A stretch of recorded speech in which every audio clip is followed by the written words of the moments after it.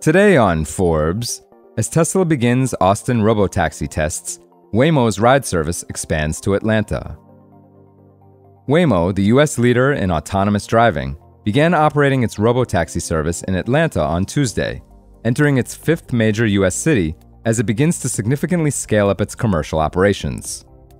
Just as in Austin, where Waymo began operating robotaxis earlier this year, the company is partnering with Uber for both ride booking and vehicle service, including cleaning and repairs at depots for the fleet.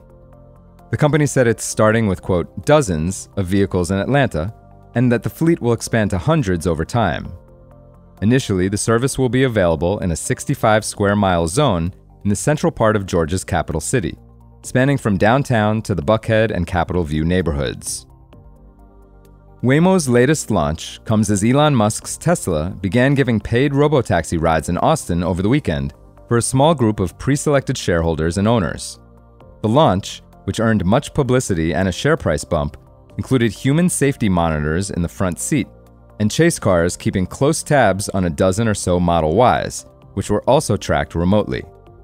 That's closer to the early stage testing Waymo and other autonomous tech companies have done for years, but which didn't charge people to ride along. The day after Tesla's launch, Barclays analyst Dan Levy said in a research note, quote, Bulls will point to yesterday's event as the start of a new era for Tesla, one which bulls and believers have been awaiting for a long time. They see the tech working well with a clear path of scaling, and point to Tesla now generating revenue on driverless rides as a critical milestone.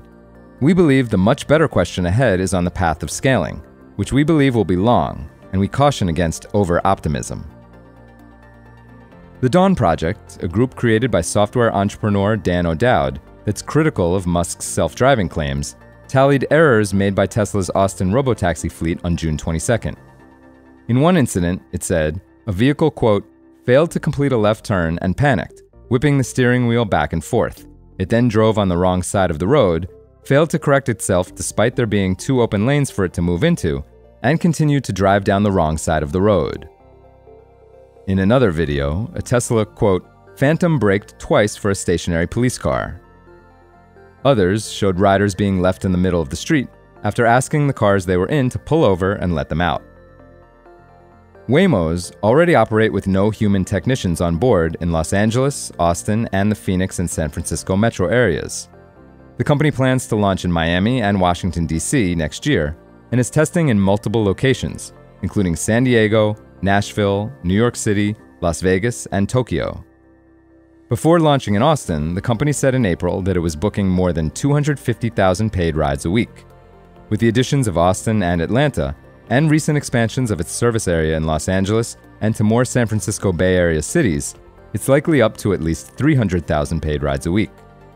Waymo doesn't disclose revenue yet, though Forbes estimates it likely booked $100 million of rides last year.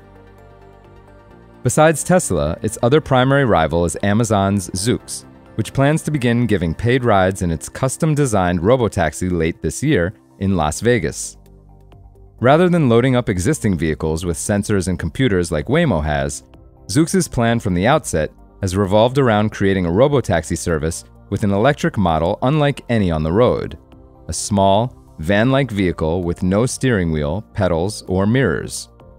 It has sliding doors reminiscent of transit trains, and it's designed as a bidirectional vehicle with an identical front and rear. The Zoox Robotaxi has a top speed of 75 miles per hour, though for now it won't typically exceed 45 miles per hour on urban and suburban runs.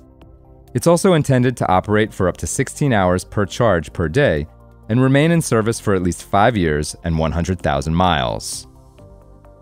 For full coverage, check out Alan Ohnsman's piece on Forbes.com. This is Kieran Meadows from Forbes. Thanks for tuning in.